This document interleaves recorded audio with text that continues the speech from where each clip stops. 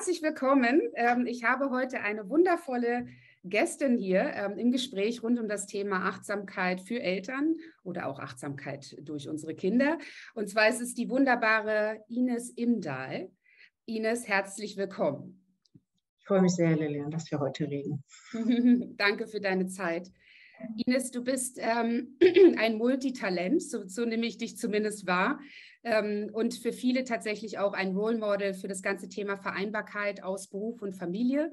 Ähm, du bist Unternehmerin, äh, du bist Gründerin, du bist Diplompsychologin, Marktforscherin, Moderatorin, Autorin und dann auch noch Mutter von vier Kindern. Ähm, das ist total beeindruckend. Und natürlich äh, sind wir alle ganz neugierig, wie du das alles unter einen Hut bekommst. Aber bevor wir da eintauchen und auch natürlich nochmal erfahren wollen, wie das ganze Thema Achtsamkeit so in deinem Leben noch eine Rolle spielt, vielleicht hast du ja auch ein Zitat, das du äh, persönlich verbindest mit dem ganzen Thema Elternsein, Achtsamkeit, Resilienz.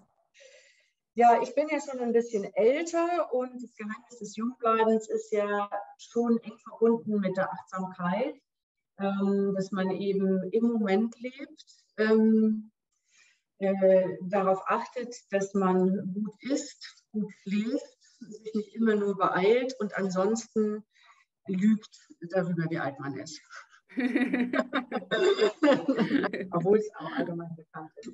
Ähm, ja, und ein Zitat, äh, das ist ja immer so eine Sache, was möchte man, was dann in die Öffentlichkeit ähm, geht. Ich würde sagen, das Wichtigste beim Thema Kinderachtsamkeit und Resilienz ist, dass Vereinbarkeit keine Frauensache ist. Und das höre ich halt immer und immer wieder, dass Frauen sich mit dem Thema Vereinbarkeit auseinandersetzen und auch vor 20 Jahren, vor 22 Jahren ist es schon, als ich mein erstes Kind bekommen habe, war das ein Frauenthema. Und jetzt gibt es jede Menge Instagram-Kanäle, wo immer noch die Frauen über das Thema Vereinbarkeit reden. Ne? Das Mama-Meeting, wie es alles heißt.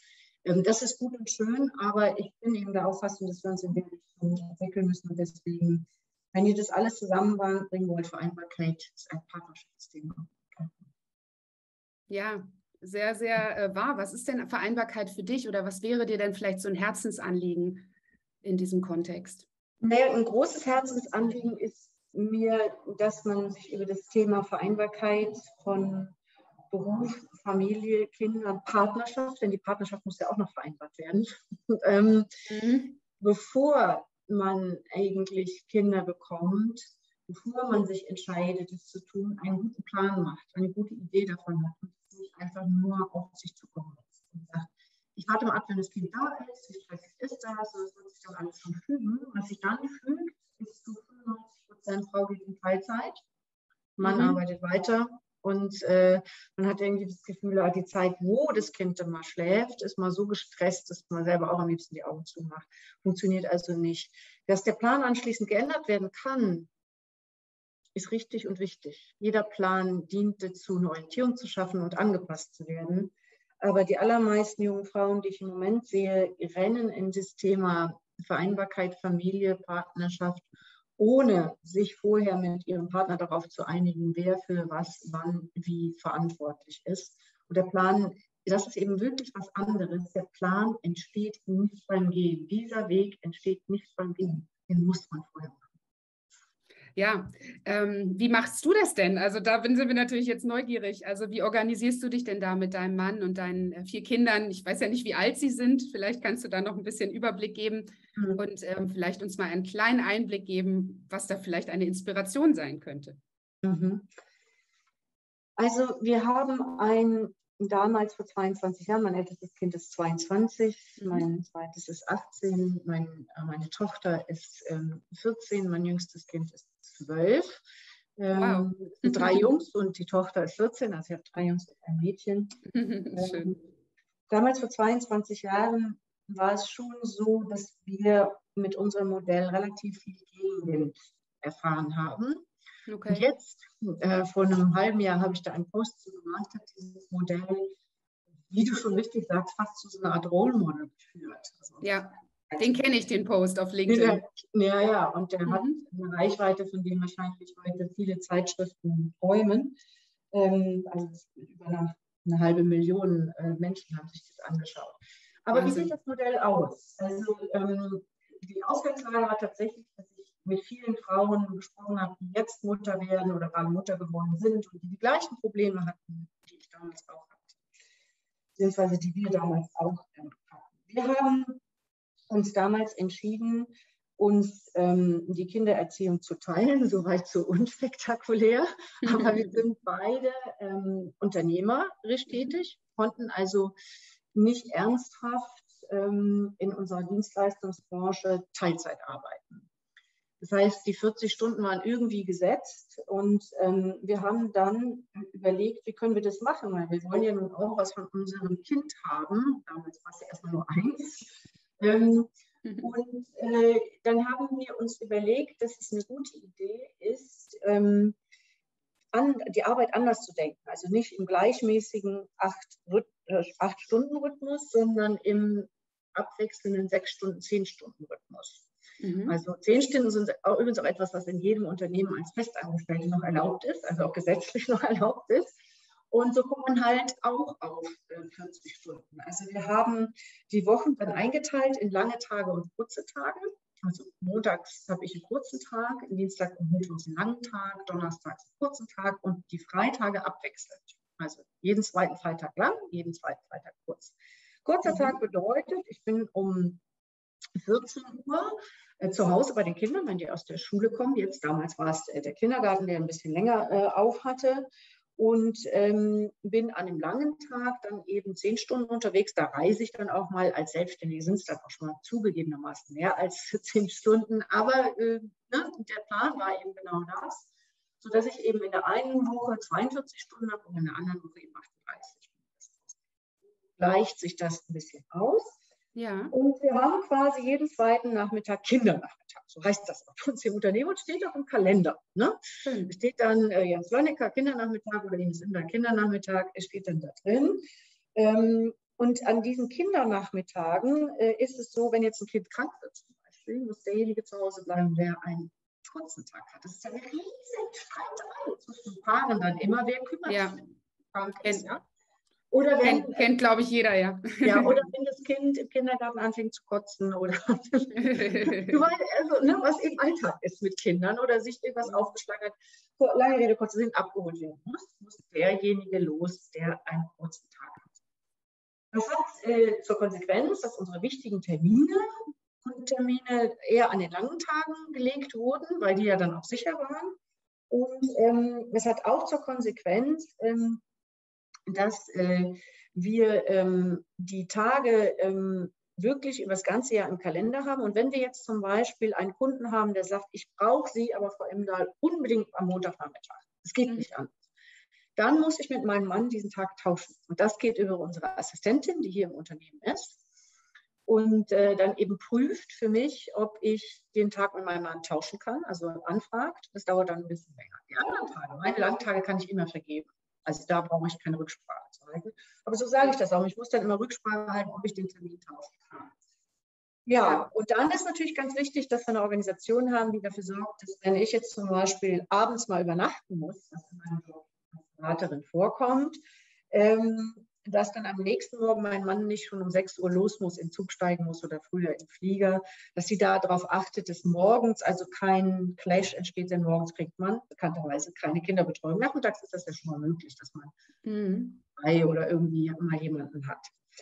Ja, das ist eigentlich äh, dieses Modell ganz grundsätzlich. Ich habe auch den Vorteil, dass wir abwechselnd mit den Kindern für die Schule lernen, abwechselnd Fußball spielen. Da bin ich nicht so gut.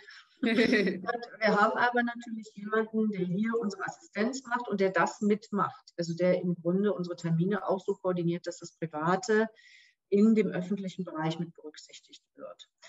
Jetzt ist das ein Modell über das ganze Homeoffice und Corona, was für unglaublich viele Leute interessant ist und was damals uns auf die Füße gefallen ist, weil das inkludiert viel Homeoffice, tut es, weil manchmal werde ich natürlich nicht fertig und dann muss ich abends nochmal ran. Und damals ging das mit dem Homeoffice gar nicht. Kann man sich heute gar nicht mehr vorstellen, ne? dass, ja. das, dass das ein Bias war, aber war damals und ich werde nicht müde, das Modell zu erzählen, weil ich nicht glaube, dass es nur für Selbstständige geht, sondern durchaus auch in anderen Unternehmen realisierbar ist. Bei Vertrauensarbeitszeit, Gleitzeit, hast du nicht gesehen. So, das ja. war jetzt schon ganz schön viel. Ja, aber, aber total spannend. Also ähm, ich finde ich find das äh, sehr, sehr äh, inspirierend. Und, ähm, und wie du auch sagst, also es ist, äh, es ist letztendlich eine Struktur, aber ihr habt trotzdem so eine Agilität drin, ne? immer zu irgendwie auf Veränderungen auch reagieren zu können. Ja. Und ich bin ja neben der, neben der Achtsamkeit ist ja mein anderes Herzthema, die Agilität. Insofern äh, finde ich, das, find ich das ganz toll, dass ihr da trotzdem noch die Möglichkeit habt, ne? euch ein bisschen dann auch ähm, anzupassen an die Gegebenheiten und eben auch jemanden einbindet. Ne? Also ja. ich glaube, das machen auch viele nicht, dass sie immer denken, ich muss alles alleine schaffen. Aber das ist ja auch ähm, total wertvoll, wenn ihr da jemand habt, eine Assistentin, die sozusagen nicht nur das Berufliche im Blick hat, sondern eben auch den Familienkontext. Ne? Und dadurch allein schon deshalb eine Integration geschaffen ist dieser Welten. Ne?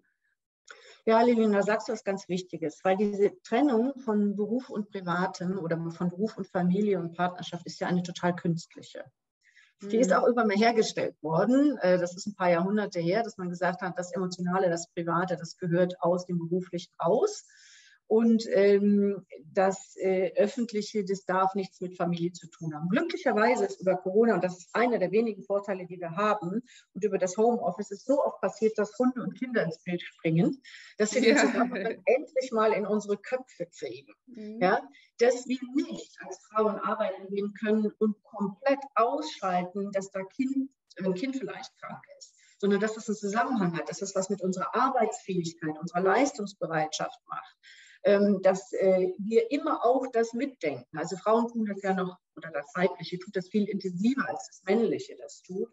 Und dass das für uns eigentlich ähm, und auch für die Unternehmen eigentlich ein großer Mehrwert ist, dass wir das tun. Dass wir nicht so abkapseln und sagen, da ist Beruf, da ist privat, sondern dass das insgesamt total zusammengehört. Deswegen gibt es bei uns im Unternehmen hier im Baden-Gold Salon auch immer die Möglichkeit, ähm, dass hier auch Kinder einfach mal mit sind. Ja, die, die gehören ja zu der Welt dazu. Und wenn mhm. sich das nicht anders realisieren lässt, äh, weil ein Kind eben an dem Tag keine Schule hat ähm, und dann einfach mal mitkommen muss, weil ein paar Stunden was getan werden muss, dann ist das in Ordnung. Ne? Das gehört dann dazu. Das ist dann nicht irgendwie so, darf nicht sein oder ist nicht genug wegdelegiert worden, sondern das ist dann eben mit dabei, weil es auch zum Leben dazu gehört. Und das finde ich, hat Corona uns wirklich geschenkt zu sagen, das stimmt. Das gehört zusammen obwohl das zur Last der Frauen geht. Aber ich will ja mal den positiven Blick reinbringen, ähm, weil ich finde, da geht es auch ein bisschen drum bei der Achtsamkeit, das Positive und im Moment auch mal zu sagen, das, das können wir davon lernen und das können wir mitnehmen, das haben wir davon. Was heißt denn Achtsamkeit für dich oder wie bringst du das denn auch in dein Leben, also das Leben im Jetzt, ähm, sei es jetzt im, im, beruflichen Kontext oder auch im privaten? Also ich, ich meine die Gesamtintegration. Was bedeutet das für dich? Also ich ähm, habe deinen Text gelesen, ähm, deine Fragen und habe gedacht, wow, das ist echt eine schwierige Frage für mich, weil ich oft hadere und oft denke, ah, da bin ich nicht gut genug, das habe ich nicht geschafft. Also oft mehr in diese Optimierung und der Zukunft denke. Und das ist ja dann mal das Gegenteil vom, vom mhm. jetzt. ähm, aber in dem aber, Moment, wo wir das erkennen, sind wir schon achtsam, Ines. Also insofern. ja, guter Punkt. Ähm, also ich fühle das äh, mit Selbst und der Achtsamkeit besonders, wenn ich ähm, meine Kinder lachen höre, sehe, wie im Gespräch lachen und wenn das hier im Unternehmen auch so ist. Ich finde Lachen einen unfassbar tollen Moment, der uns absolut ins Herz bringt. Also das ist das, was mir eingefallen ist und wo für mich alles zusammenkommt. Die Lebensfreude, das konkrete Dasein, das sich nicht mehr entziehen können und das genau auf den Punkt und es schafft dann auch noch diese Gemeinsamkeit, weil man lacht ja selten alleine. Ich muss auch noch ein bisschen selber mal lachen, aber ich meine jetzt so dieses herzhafte, ne, gemeinsam ins Lachen kommen. Äh, und ich freue mich immer wieder, dass ich hier auch auf den Fluren ähm, die Menschen unglaublich viel lachen höre. Und das, das, mhm. das finde ich super. Und mit meinen Kindern erlebe ich das, die sind ja jetzt schon ein bisschen älter, viel an, beim gemeinsamen Essen, ähm, wo wir alle Medien verbannen äh, wo dann gewitzelt wird, sich gegenseitig geneckt wird und äh, viel ähm, gelacht wird. Und das finde ich einen sowohl entspannenden als auch erfrischenden, als auch einen Moment, den man sich überhaupt nicht entziehen kann. Wunderschön. Ähm, Achtsamkeit ist auch Freude. Also das ist ähm, sehr, ein sehr, sehr schönes Beispiel. Gerade Kinder lachen, hat ja, hat ja so, da geht einem ja auch selber das Herz wieder auf. Ne? Und dann bist du ja schon, schon bei dir und im, auf, der, auf der Herzebene und nicht ja. mehr nur auf der Kopf- und Denkenebene. Ne? Ähm, ich habe ja auch im Vorfeld mit dir die Marienkäfer-Momente-Geschichte geteilt, die ich mit meiner Mutter erlebt habe und die mich auch inspiriert hat, dieses Buch zu schreiben. Mhm. Ähm, was hat denn diese Geschichte in dir ausgelöst? Welche Impulse, Gedanken? Naja, also ich habe natürlich solche Momente mit meinen Kindern viel gehabt. Also mhm. Hm, ich habe das immer herrlich gefunden, wie sie voller Freude in Pfützen gesprungen sind, ohne ja. sich einen Gedanken darüber zu machen, äh, was das mit der Kleidung machen könnte. Oder und ich kann Mütter oft nicht verstehen, ich mische mich natürlich nicht ein. Die Kinder, die Kinder davon abhalten, äh, den Dreck zu erkunden, in den Mund zu nehmen. Ich weiß nicht, wie viel Sand mein erstes Kind beim Krabbeln lernen gegessen hat, wirklich auch immer reingebissen hat. Und ähm, ich finde, dieses zu sehen und das auch aushalten zu können, dass das passiert, äh, finde ich toll. Mein letztgeborener äh, Sohn, der Levi, der hat ähm, unsere untere Schublade in der Küche immer aufgemacht und da sind Gläser mit Mehl, Haferflocken und sowas alles drin. Und er hat das geliebt, das Mehlglas rauszuholen und den ganzen Boden voll zu machen mit Mehl und hat gebacken und gebacken und gebacken. Ich fand das herrlich. Ich fand es herrlich, ich fand es herrlich und äh, auch zu sehen, wie, wie, wie glücklich den das gemacht hat. Ähm, und äh, da kann man jetzt sagen, Verschwendung. Ich habe gedacht, hm, so Packung Mehl, das kostet irgendwie 80 Cent oder so. Das sei ihm gegönnt und dann habe ich es weggesaugt, wenn er fertig war und dann war gut. Mein Essen fand man es nicht mehr. Aber ich fand, dass er das so erleben wollte und anfassen wollte und mitmachen wollte, das war sein größter Glücksmoment. Schön. Das Marienkäfer-Ding, klar, ne? die bleiben an jedem Käfer, an jedem Kraut, an allem stehen. Du kannst spazieren gehen, bedeutet ja zehn Meter und in diese zehn Meter sind, ist die ganze Welt. Die ja. ganze, da ist alles. Da ist alles und ähm, ich konnte es deswegen genießen, weil ich es eben den zweiten Nachmittag hatte. Und es wird ja auch anstrengend. Es gibt ja Kippmomente, muss man ja ganz klar sagen, wo man dann denkt, ich möchte jetzt aber auch nochmal was für meinen Kopf tun und ich möchte nicht 24 Stunden am Tag die Türmchen bauen oder den Schlüssel aufheben, der auf den Boden geschmissen wird und, und, und.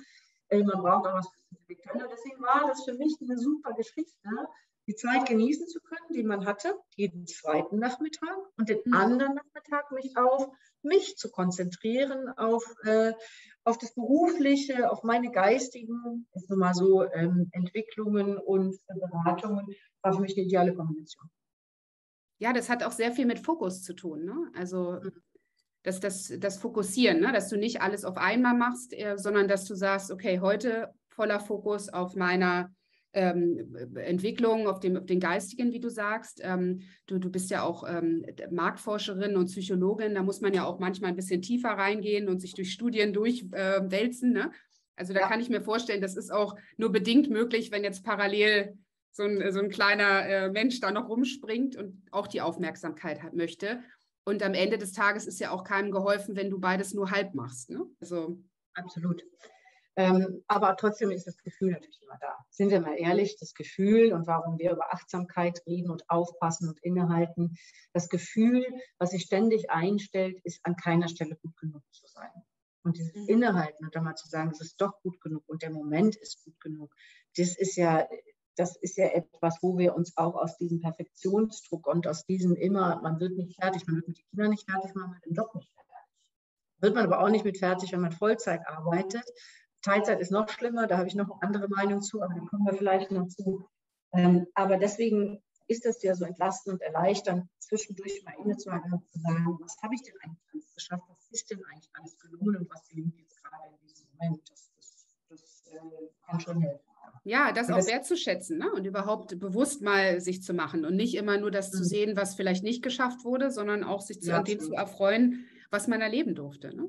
Also ja, ja diese, diese, unendliche Liste von To-Dos, die abends immer noch da ist als Mutter und als berufstätige Mutter, mhm. äh, die ist ja immer so eine defizitäre Liste. Und das ist genau wie du sagst, es ist viel besser, am Abend eine Liste zu machen, Dingen, die geschafft wurden und die man doch machen muss.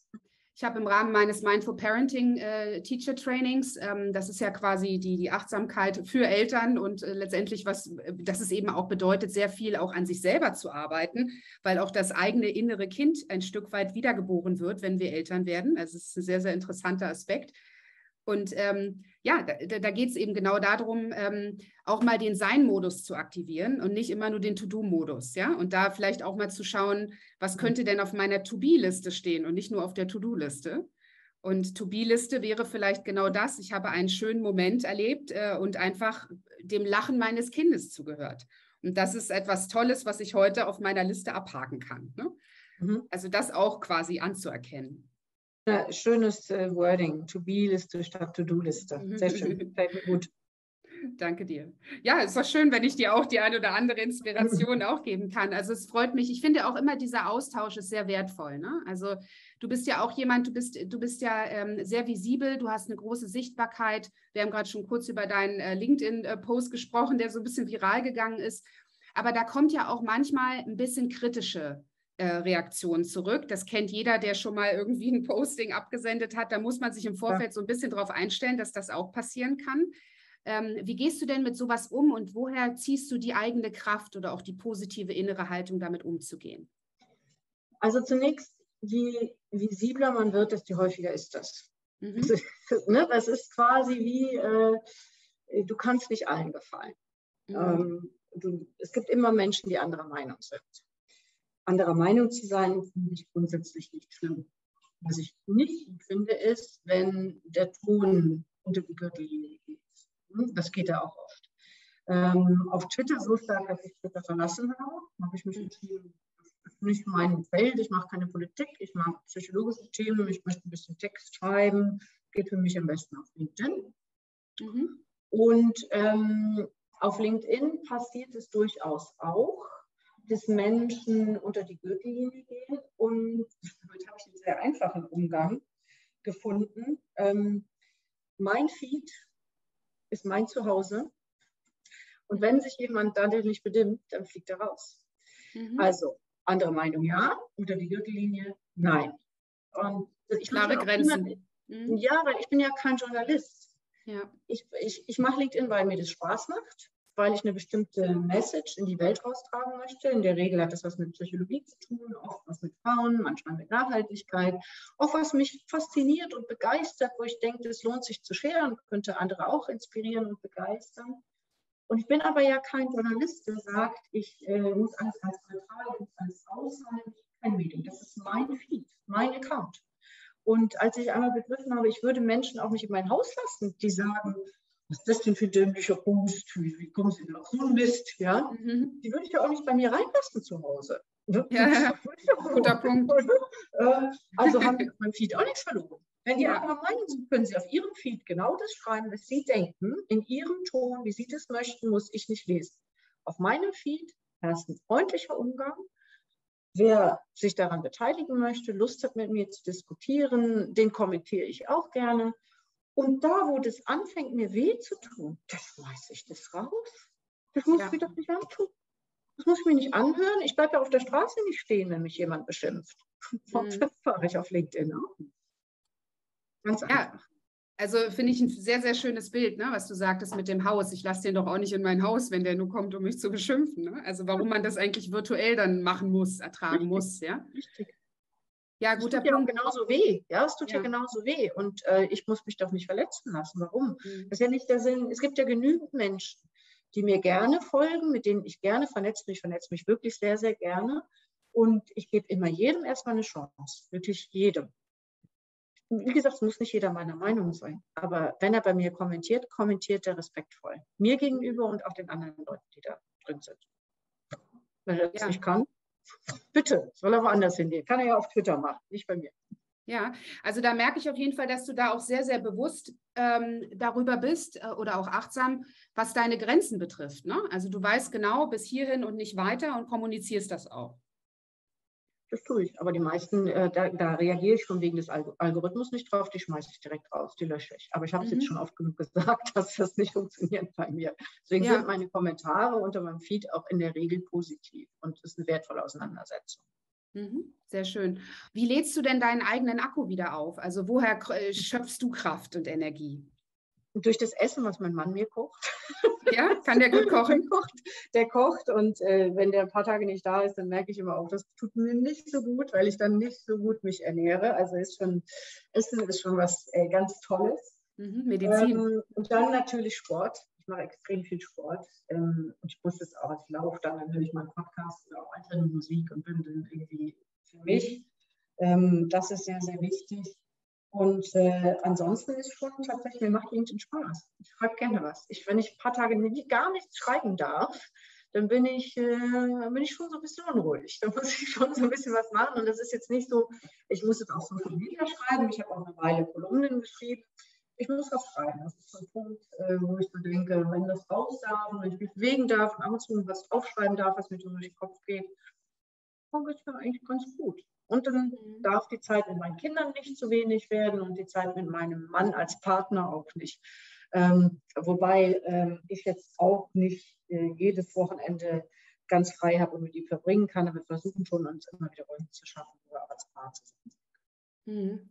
ich habe in meinem ersten Buch die ähm, Achtsamkeit äh, so ein bisschen betrachtet auf, auf Basis von sieben Ebenen.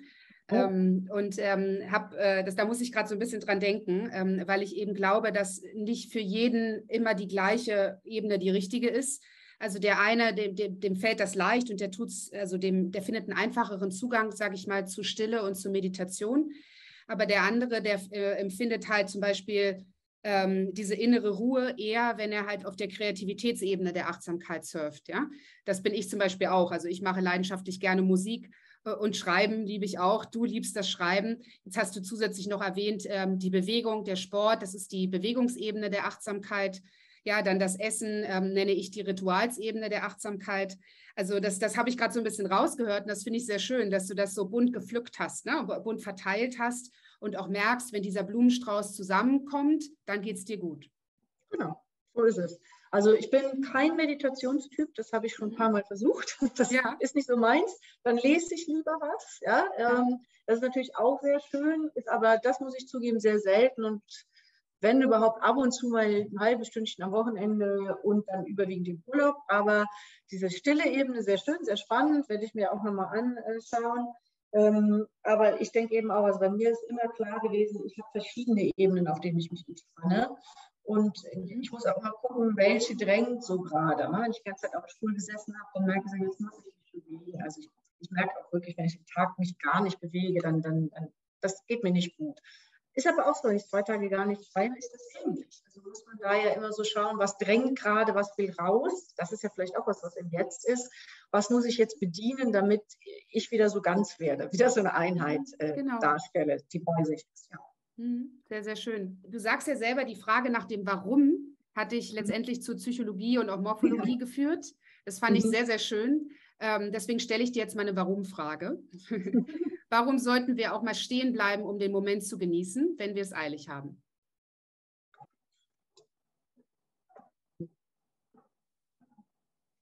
Weil wir, wenn wir es eilig haben, übersehen, worum es eigentlich geht und warum wir so rennen. Mhm. Ja, es ist ja so fast so, schon so ein bisschen so Klischee, ne? wenn du es eilig hast, geh langsam. Ne? Das, mhm. ähm, ich folge dem nicht immer. Ich gehe auch manchmal schnell, wenn ich es eilig habe. Ja. Aber ähm, ich glaube, wenn man, wenn man es ein bisschen differenziert und sagt, ähm, wenn sich das Eilen als Stress anfühlt, mhm. Dann ist es schon gut, das auch mal zu unterbrechen, um noch eine andere Perspektive reinzukommen. Bei mir ist das Eilen nicht immer Stress. Manchmal gehen mir Sachen, ich sage das auch mal so, zu langsam. Das stresst mich auch schon. Ja. Ungeduld. ja, ich weiß nicht, ob das Ungeduld ist, aber zum Beispiel, ich weiß nicht, ob deine Kinder schon in der Schule sind.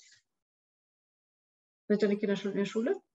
Ähm, mein, mein Sohn ist im Kindergarten noch. Ah, okay. Der ist vier. Also, wenn, ah, okay, wenn die mal in der Schule sind und du musst auf Elternabende, mhm.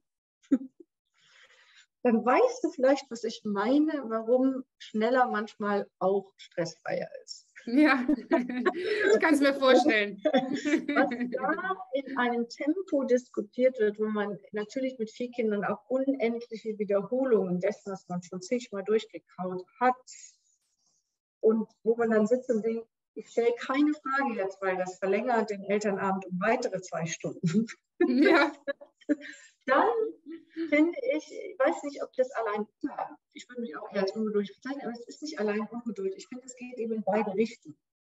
Manchmal ähm, kann man auch ähm, etwas als zu langatmig und zu stressig empfinden, wenn es nicht vorwärts geht. Das wissen mhm. wir ja auch ähm, aus dem ja. Change Management, wenn sich gar nichts entwickelt, wird es auch Stress.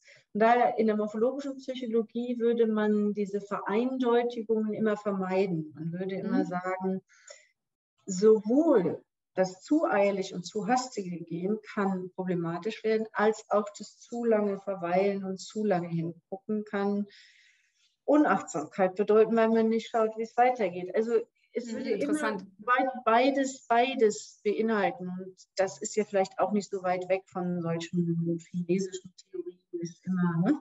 Mhm. Das ist gegenseitig bedingt und ähm, auch nicht nur in den Inhalten immer die Kraft oder immer, also Inhalt ist natürlich ein sehr positives Wort, aber du weißt, was ich meine, immer mhm. in der mhm. Verlangsamung äh, ja. unbedingt die Entstressung liegt. Ich finde, es ist beides möglich und ich erlebe auch beides. Ja, total spannend. Und ich meine, für den einen ist es auch äh, total erfüllend, wenn er irgendwie in der Achterbahn äh, Loopings fährt, ja. Also was jetzt nicht so viel mit langsam zu tun hat, ne? aber es ist, äh, vielleicht wird er dadurch wieder das Gefühl bekommen, dass er lebendig ist. Ne? Mhm. Also ich merke es auch beim Laufen. Ich sage ganz ehrlich, mhm. manchmal äh, entfrannt mich das total, wenn ich an meine körperliche Grenze gehe, das geht nur schnell laufen. Mhm.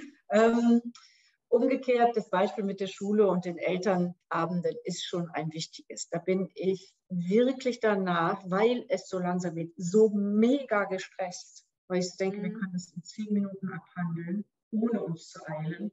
Aber diese Zerdehnung, mhm. das ist vielleicht das richtige Wort, Zerdehnung von etwas, was vielleicht auch diese Zerdehnung nicht braucht, wo man sich dann mhm. behindert und zurückgehalten fühlt, ich kann ja. auch stressen. Ja, ja. Ja, sehr, sehr guter Punkt.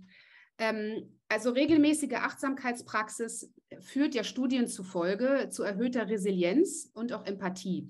Und da würde ich natürlich sehr gerne nochmal deine Meinung auch als Psychologin und Marktforscherin zu hören. Wie siehst du das? Glaubst du daran oder gibt es vielleicht auch Studien, wo du sagst, da ähm, ja, ist irgendwie was sofort in deinem Kopf hängen geblieben? Wie stehst du dazu?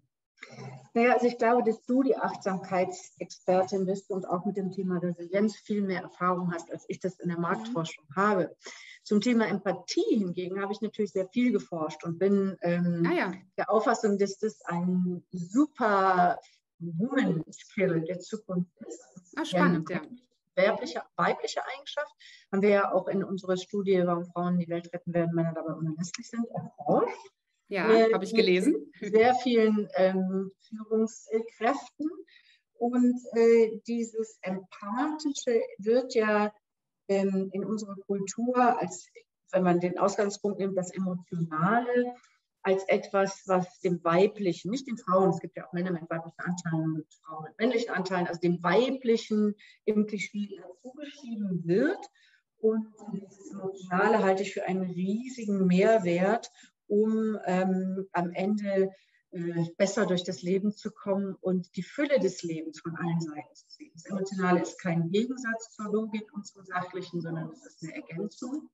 Und mir ist sehr wichtig zu sagen, ähm, wir nehmen auch hier die Fülle von allem Emotionalen. Die Empathie wird ja oftmals immer nur in so eine positive Emotionalität gelegt. Aber es gibt viele Facetten von Emotionalen, die wichtig sind wahrzunehmen zu spüren, zu leben und nicht immer zu sagen, oh, da war ich zu emotional, das ist was Schlechtes. Sondern zu sagen, mhm. was ist das eigentlich, was, was bedeutet diese Emotionalität jetzt gerade und wie kann sie gewinnbringend für mich, für das Unternehmen, für die Zukunft, für mein Leben eingesetzt werden. Und das geht. Und darauf haben wir einen ganzen, da, dem haben wir ein ganzes Buch gewidmet. So, jetzt habe ich mir mhm. oft versprochen. Also Empathie ähm, wie, wie findet das denn Einzug in deiner Mitarbeiterführung oder auch in deiner Erziehung? Mhm. Ja, in unserer Erziehung ist es natürlich so, dass unsere Kinder sich schon fast lustig machen darüber, dass wir immer alles als Psychologen betrachten und sagen, mein Gott, manchmal ist es aber auch, könnt ihr das nicht einfach mal so lassen, da steckt nichts dahinter. ähm, äh, ich glaube aber, dass man als Eltern sowieso natürlich fast immer ja, äh, so viel Empathie für seine Kinder mitbringt, dass ähm, dass es ja eher schwer ist, sich da rauszuhalten. Auf Basis des Buches allerdings haben wir ähm, die weiblichen Skills, das Empathische, das Einfühlsame, das Empfindsame, zu einem Konzept gemacht, was wir in unserem Unternehmen ähm, auch leben wollen. Also wir haben gesagt, in unserer Kultur gibt es ein Leistungsbild, das immer davon ausgeht, dass wir jeden Tag gleich drauf sind, also immer mhm. gleich performen können, immer auf einer Höhe, immer gleich gut sind. Das ist ein typisch männliches Bild. Und ähm, das Weibliche äh, ist ja per se schon zyklischer angelegt. Ne? Es gibt Höhen und Tiefen. In den Höhen zum Beispiel rein körperlich gedacht, rund um den Eisprung fühlen die meisten Frauen sich komplett unschlagbar und sind wir ehrlich, sie sind es auch. und äh, dann gibt es die Zeiten, wo sie sich total empfindsam fühlen und das Gefühl haben, sie können gar nichts mehr machen. Da sind sie aber sehr empfänglich für neue Ideen, für Kreatives. Also es ist ein ganz anderes Leistungsmodell, das zyklische mhm. Und dieses zyklische Modell ähm, haben wir bei uns eingeführt, indem wir gesagt haben, bei uns gibt es Empfindsamkeitstage. Wenn du also, egal ob Mann oder Frau Tage hast, du das Gefühl hast, heute klappt es nicht so, ich gehe jetzt mal besser spazieren, vielleicht kommt mir dann eine gute Idee. Wir haben viele kreative Sachen, die wir aufschreiben müssen in der Forschung, fällt ja nicht vom Himmel so ein Berichtszwang. Mhm. Ähm, man muss einfach auch manchmal eine Idee haben, was bedeutet das? Äh, dann darf das bei uns jeder nehmen. Und dann gab es ja diese spanische Diskussion, sollen Menstruationstage eingeführt werden? Und äh, wenn das für die Frauen eingeführt werden, wieso dürfen die Männer dann vielleicht nicht und mhm. so? Und dann haben wir eigentlich gesagt, nee, wir finden es nicht gut, das auf die Menstruation zu beschränken. A, gibt es Frauen, die dann auch von den Wechseljahren sind und B, gibt es Männer, die vielleicht keine Menstruation haben. Wir glauben, dass alle Menschen Zyklen haben. Mhm. Habe ich jetzt auch gerade nochmal gelesen, das stimmt auch. Äh, Männer haben das nämlich an jedem Tag. Wusstest du das? Dass Männer tatsächlich einen Zyklus an einem Tag haben. Das gibt es, Quarks und Co. hat es gerade veröffentlicht. Nee, das war mir noch nicht bekannt. Spannend. Und das haben die viel extremer mhm. als, als, äh, als Frauen. Frauen haben das eher über so einen Monat äh, ja. Der Zyklus eines Mannes ist also am Tag so, dass die dann irgendwie so kurz nach sechs so in so, eine, in so ein Loch kommen.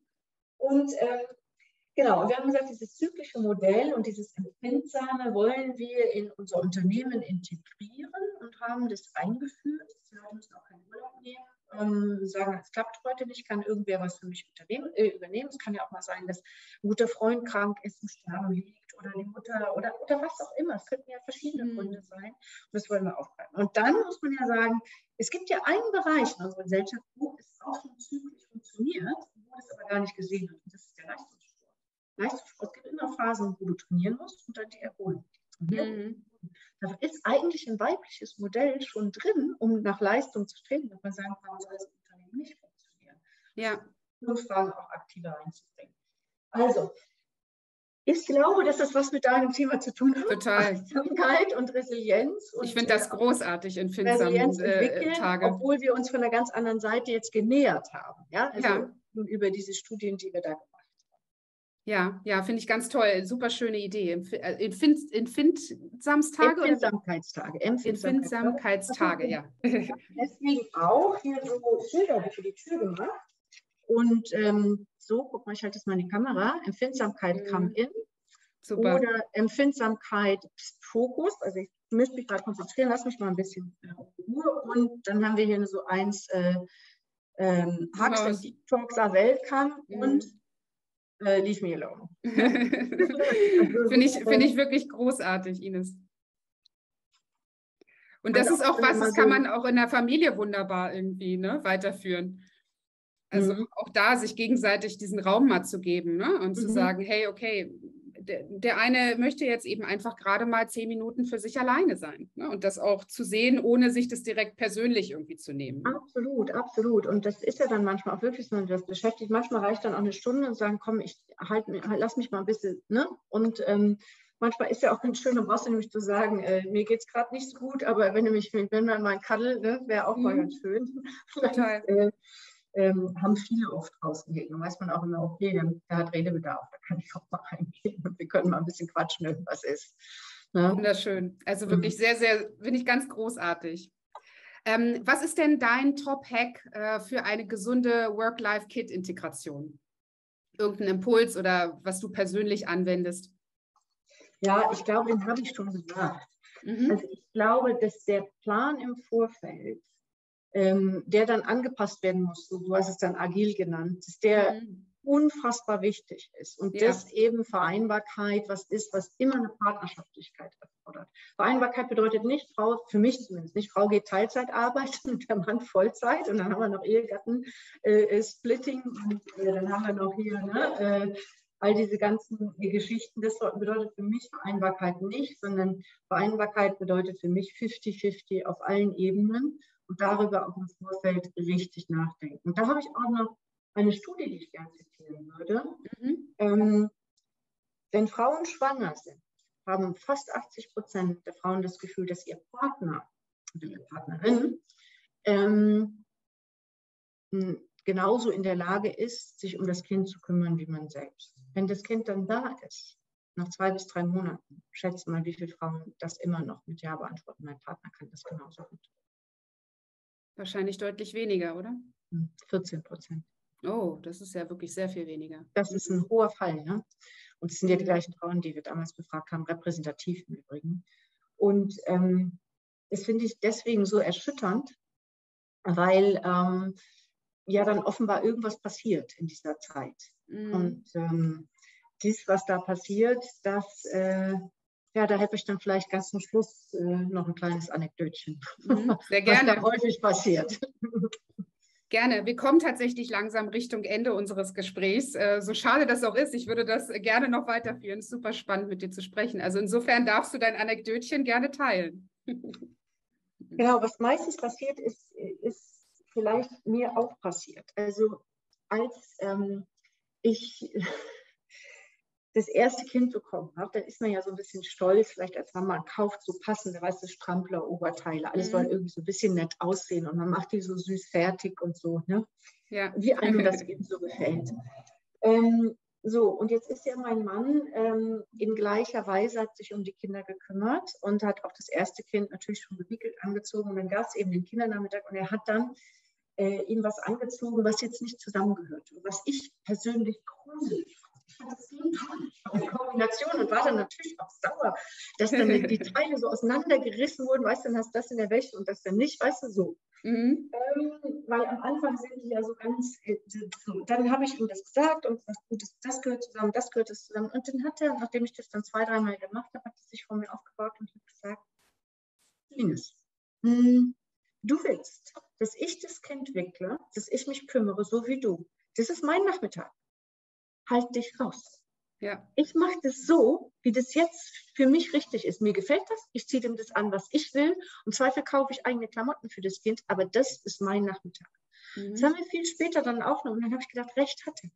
Die Frauen müssen sich dann auch rausnehmen. Mhm. Wir müssen die Männer ja. das so machen lassen, wie sie das machen. Und die machen das verdammt nochmal anders als wir Frauen. Die, die mhm. haben ganz andere, äh, einen ganz anderen Fokus, als wir den haben. Der, mein Mann lernt auch ganz anders für die Klassenarbeit mit meinen Kindern, als ich das tue. Ganz anders. Und mhm. mir ist das immer nicht so recht. Ich habe immer so einen Impuls, dass ich denke, man müsste es aber doch so geht es doch gissig. Mhm. ne, weil ich bin doch Mama und so. Ne? Ja. Aber äh, ich glaube, dass das vielen Paaren nachher auf die Füße fällt. Genau das ist. Und dann noch eine mhm. letzte Anekdote. Mein Mann hat es nicht nur von mir erfahren. Er ist mit vier Kindern eins über den Arm, eins über die Schulter zum mhm. Spielplatz gegangen. Und dort gibt es dann Mütter mit ihren Kindern am Spielplatz. Und mein Mann hat das auch im Winter gemacht. Und dann gab es Mütter, die gesagt haben, ja, wir haben das Kind ja gar nicht richtig angezogen, das holt sich doch einen Tod. Und diese Sprüche kamen sehr häufig. Und dann hat mein Mann irgendwann gesagt, stirbt bleibt eins, Papa vier. Gedacht, so ein guter Konter, weil er nämlich genau nochmal sagt, ihr habt nicht recht, sondern sind, ich mache das jetzt so, wie das für mich richtig ist. Ich fand das wirklich ein super Konter und ich mhm. bin heute noch sehr, sehr froh, dass mein Mann gleich zu Anfang klargestellt hat, du, das ist mein Nachmittag, jetzt so wie ich, ich mische mich bei dir nicht ein, du mischst mich bei mir nicht ein. Und diese Toleranz brauchen wir, damit wir gegenseitig akzeptieren, äh, dass die Kinder äh, von jedem was anderes haben und es da kein mhm. richtig, kein falsch gibt. Ich glaube, das sind dann auch die 14 Prozent, die ich erwähnt mhm. Sehr, sehr schöne Geschichte. Also vielen, vielen Dank fürs Teilen. Ähm, wenn du jetzt dir etwas von einem Glückskäfer wünschen dürftest, wenn wir nochmal zurück zu unserem Marienkäfer kommen, ähm, was du allen Eltern, Kindern, Familien auf den Weg geben wollen würdest? Was wäre das? Dann würde ich mir wünschen, weniger zu hadern, weniger am Abend zu denken, was man alles nicht hat, sondern mehr, was man alles hat. Und äh, das passt wahrscheinlich ganz gut in deine To-Be-Wünsche. Sehr schön. Vielen lieben Dank, Ines. Es war ein ganz wundervolles Gespräch. Und ja, ich, äh, ich werde im Nachgang äh, natürlich auch noch den ein oder anderen Link zu dir teilen, äh, falls man noch mehr über dich erfahren möchte. Und ähm, bin auf jeden Fall sehr, sehr dankbar, dass wir sprechen konnten und dass du dein Modell geteilt hast. Und freue mich auch, dass du da ähm, ja, das, das machst, weil Sharing is Caring ne? und, und indem man auch darüber spricht und ähm, einfach auch mal andere innovative Seiten und Modelle aufzeigt, ähm, denke ich, können auch andere Menschen inspiriert werden. Also ja, vielen Dank an dich. Sehr, sehr gerne. Ich freue mich auf dein, dein Buch und ich finde es eine tolle Sache, die du da angeschoben hast. Und ich glaube, das genau wie du sagst, Sharing ist Caring und du sharest es ja dann auch alle und wirst ganz vielen ähm, Eltern damit eine große Inspiration sein. Ich danke, dass ich Gast sein durfte. Danke dir, Ines. Alles Gute. Dir auch. Tschüss.